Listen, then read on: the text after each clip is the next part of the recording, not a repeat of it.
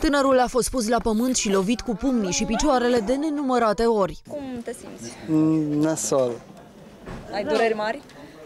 la cap. Eu am rămas cu ideea aia și cu fixul ăla, cum că eu sări pe cap cu picioarele. Tinerii băuseră și s-au luat la ceartă după ce tânărul care a fost bătut i-ar fi dat o palmă prietenei lui. Îi cunoști? Da, îi cunosc. Sunt prieteni ai tăi? Au fost până acum. De la ce a început cearta exact? La prietena. La fostă prietenă. Și așa a fost să fie. Au început pur și simplu să te lovească?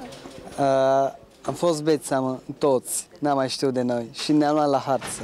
După bătaie, agresorii au plecat, nu înainte de a-i lua banii, telefoanele și ochelarii. Familia a aflat de incident după aproape o zi când au văzut imaginile pe internet. Ce am văzut pe Facebook asta, atâta, ce ați văzut și dumneavoastră? Pe băieții respectivi îi știți măcar din vedere? Sau? Nu, nu, dar știu zona pe unde stau. El are el destule probleme, nu, nu mă bag în treburile lui. Să fie trași la răspundere pentru faptele lor. Atâta.